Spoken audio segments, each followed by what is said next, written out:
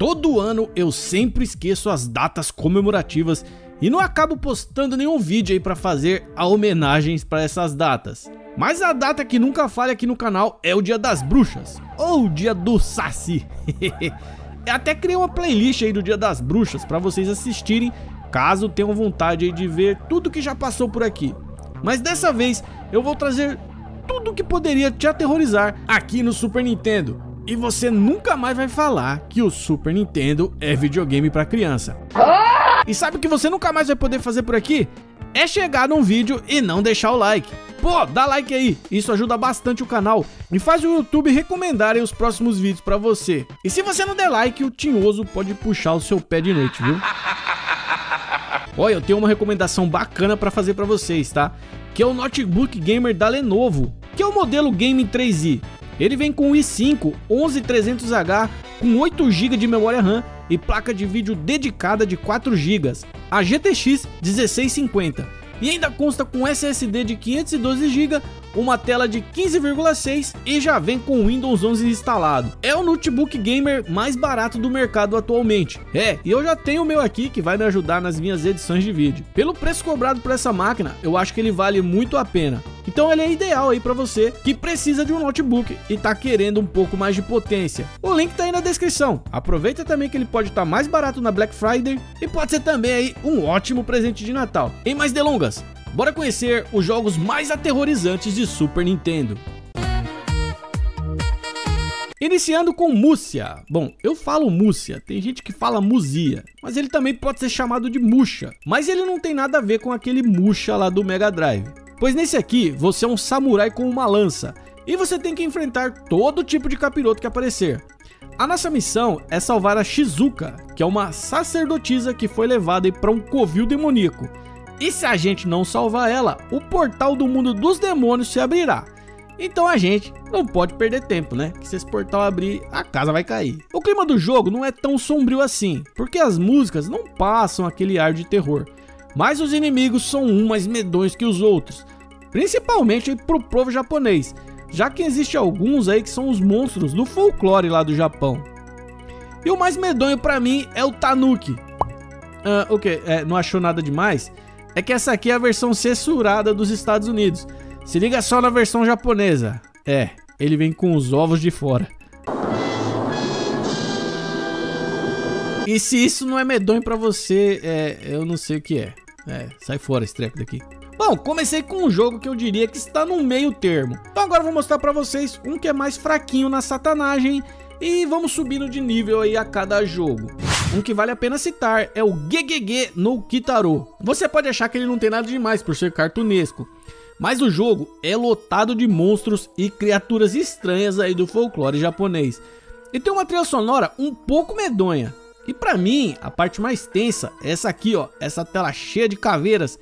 E depois a luta continua numa cachoeira de sangue. É sinistro, viu? E esse jogo é muito maneiro. Tanto que eu já fiz uma análise completa dele aqui no canal. Dá uma conferida lá depois. Claro que eu não posso deixar de citar o meu queridinho que é o Zombies Ate My Neighbors.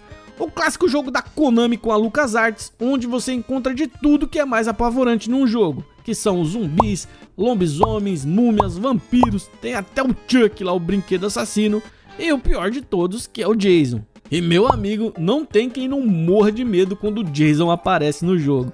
As músicas aqui, elas conseguem ser engraçadas e sombrias ao mesmo tempo. Mas claro que por ser tudo bem cartunesco e cheio de humor, o jogo não assusta tanto assim. Mas o que poucos falam é o que o sucessor dos zombies, né, que é o Go Patrol, é um pouco mais pesado. Pois lá, logo no começo do jogo, se liga só no capetão que aparece. Sem contar que os zumbis aqui são muito mais assustadores também. Os zumbis lá do Zombies Ate My Neighbors tem mó cara de louco, filho. Já o do Gol Patrol dá medo mesmo. Que eles têm um olho sangrando aí, com os ossos expostos. E não dá muita vontade de encarar esse zumbi aqui no, no tirinho d'água, não. Dá vontade de fugir dele mesmo. No jogo dos zombies, a nossa poção faz a gente virar um monstro. Então, beleza, ok. Mas no Gol Patrol, a gente vira a morte. A maluco, cara. Isso aqui é sombrio demais. Super Castlevania 4. É, esse aqui já é bem manjado quando é o tema aí de jogos de terror. Mas realmente não dá pra ficar de fora, já que o jogo por si só tem o tema aí que é voltado para terror. Mesmo que o jogo não seja tão assustador assim, mas ele tenta nos amedrontar aí com sua ambientação e trilha sonora. E fala a verdade, vai, a gente até que sente aquele friozinho na barriga em algumas partes, principalmente no início da luta contra o Drácula. Se liga aí, ó.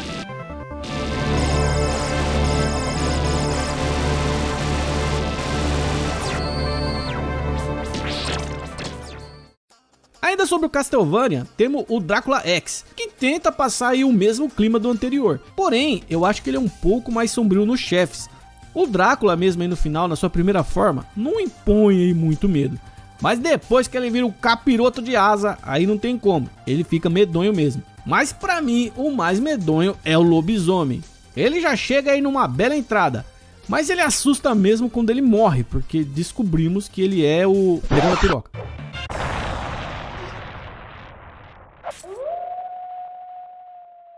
Olha aí, ó, dá uma manjada. Viu só?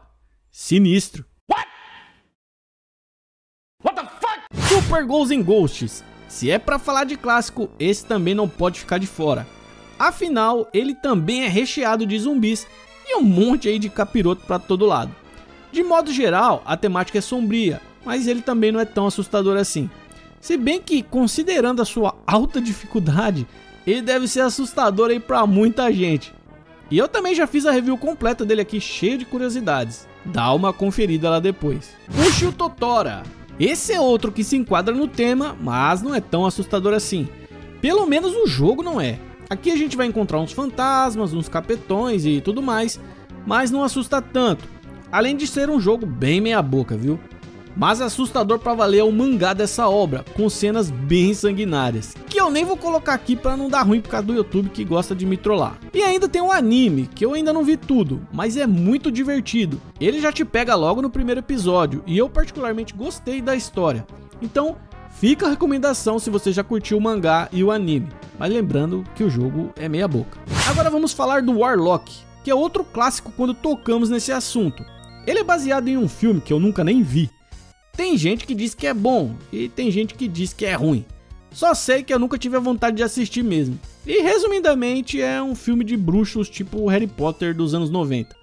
Mas como eu nunca vi, esse é o meu resumo grotesco mesmo e preguiçoso sobre a obra. Tem grande chance de eu estar super errado nesse resumo, mas é isso aí.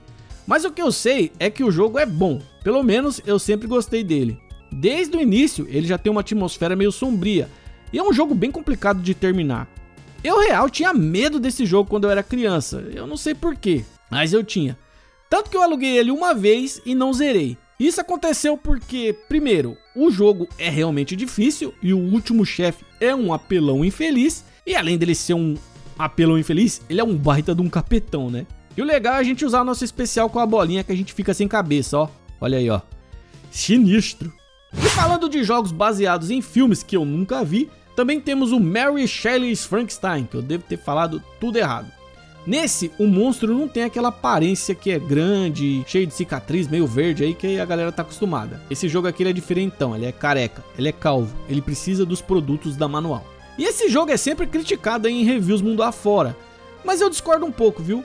Claro que ele tá longe de ser um primor aí do melhor jogo do mundo, mas até que dá pra jogar. Beleza, a jogabilidade é meio esquisita, mas ele tem uma ótima trilha sonora e cutscenes muito bem feitas. Eu adoro a abertura desse jogo, ó. se liga aí, ó. é da hora.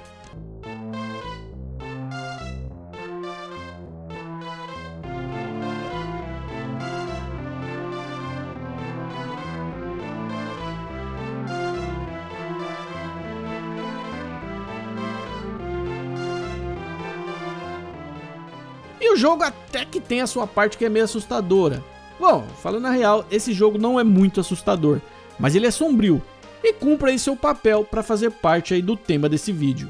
Mudando um pouco de gênero, que tal um RPG capitoresco, hein? É, então chega a hora do Laplace's Demon, ou Laplace no Mar. É uma mistura aí de jogo de terror com RPG. E já na abertura do jogo, vemos que o negócio vai ser intenso, viu? Legal que o jogo se passa em Massachusetts, e eu só falei isso porque eu acho legal falar Massachusetts, mesmo que eu fale tudo errado. Vou falar de novo. Massachusetts. Acho que agora tá certo. Massachusetts. Esse jogo é tão foda que tem até o senhor barriga aqui no jogo, ó. Nossa missão aqui é desvendar os mistérios de uma mansão mal assombrada.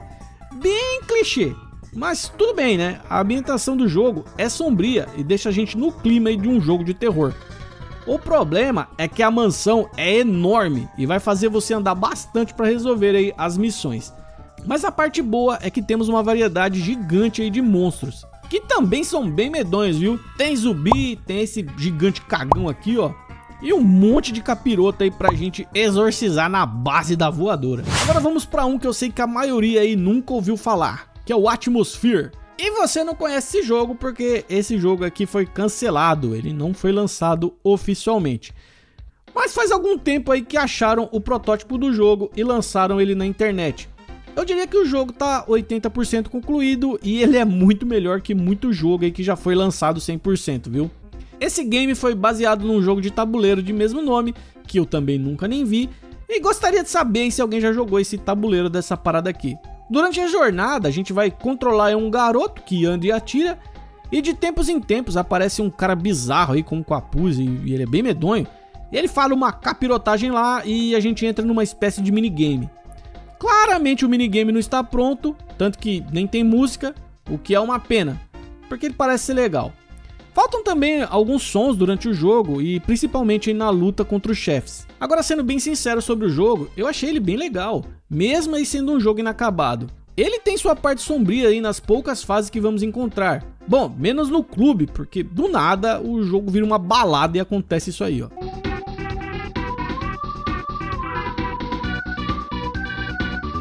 Agora, outro jogo diferentão, mas super capirotesco é o Jack Crush, que nada mais é que um jogo de pinball, que claro, só saiu no Japão. Aqui a mesa é dividida em três partes e temos que ir metendo a bola no satanás. É, isso mesmo, tu vai matar o mochila de criança na base da bolada. Mas não vai achando que vai ser fácil não, viu? Porque eu achei esse jogo bem difícil. Mas ele é viciante, principalmente se você gosta de pinball. E ele tem músicas bem legais também. Tem a música normal aí que toca na mesa principal e muda quando entramos no bônus, que eu sempre chamei de fase de chefes aí. A mesa é repleta de segredos e tem uma boa variedade de demônios pra gente ficar olhando e descendo a bola neles.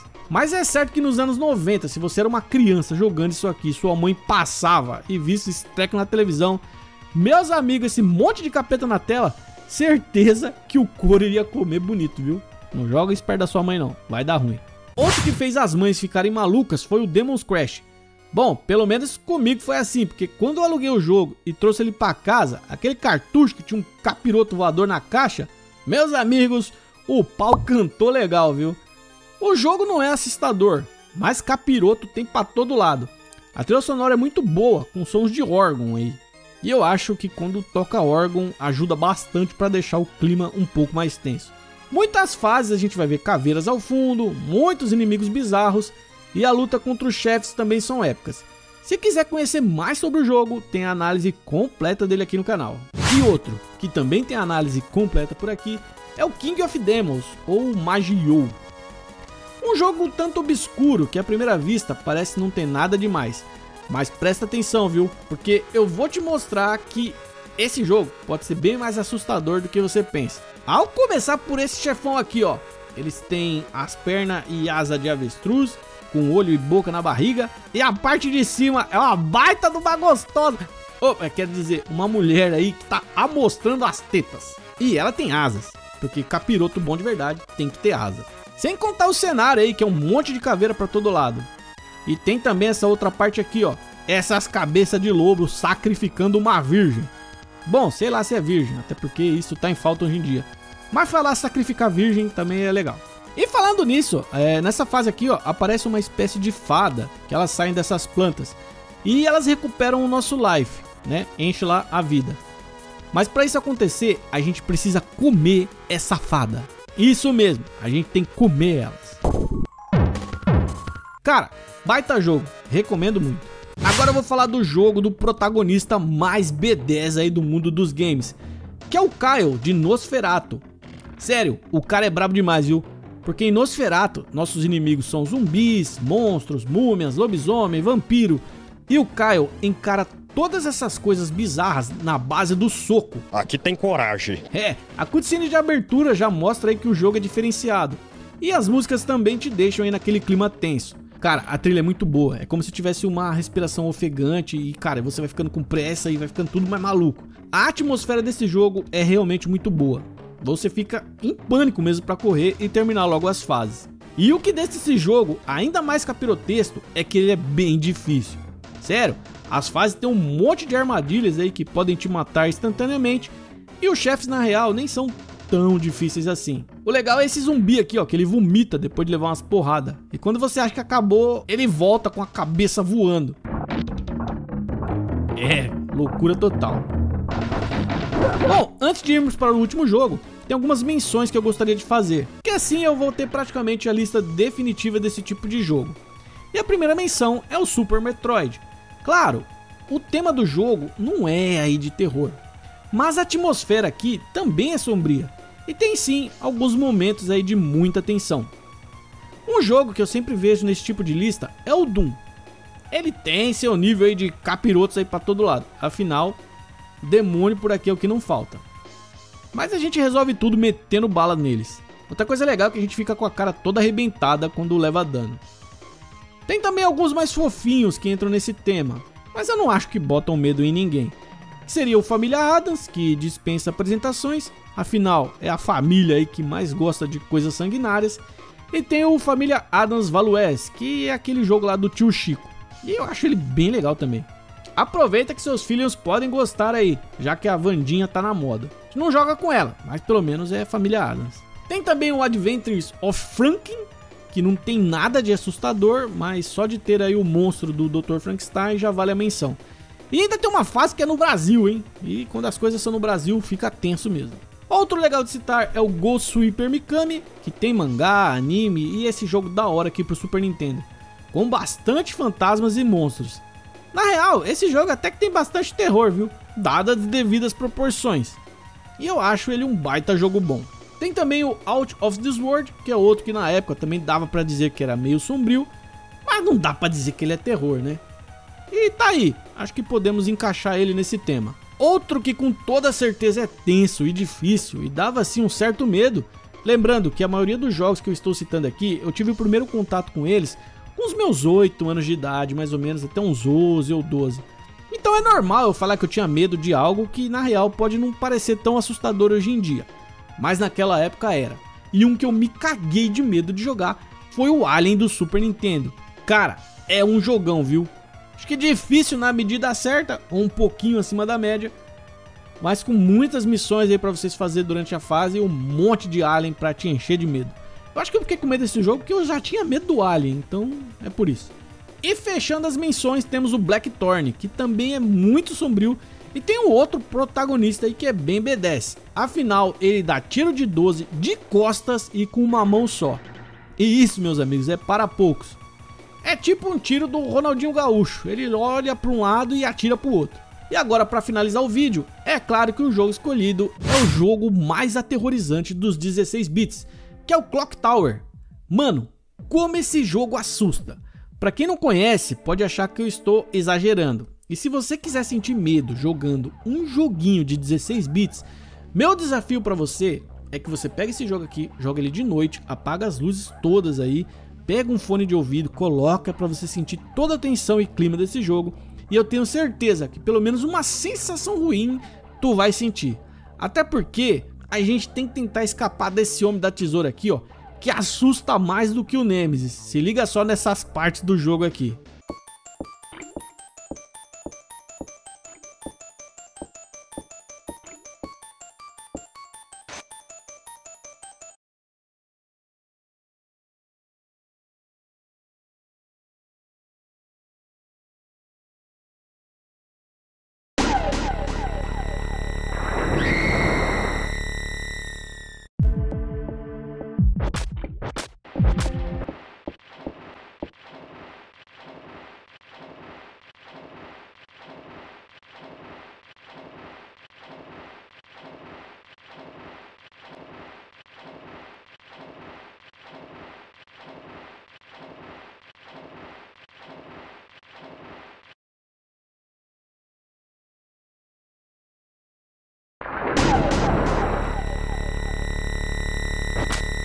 É, cara, medonho.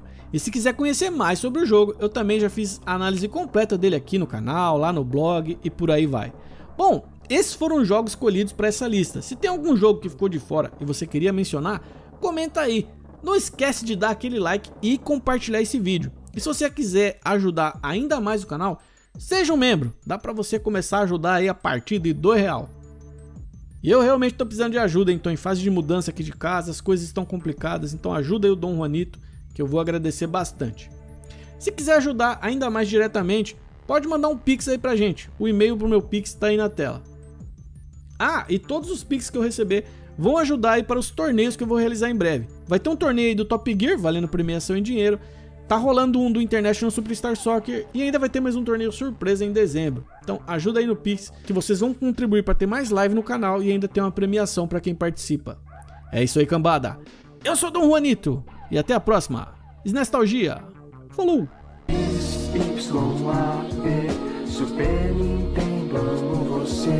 Voltar pra aquele tempo é tudo que eu queria Mas eu tô feliz com a S Nostalgia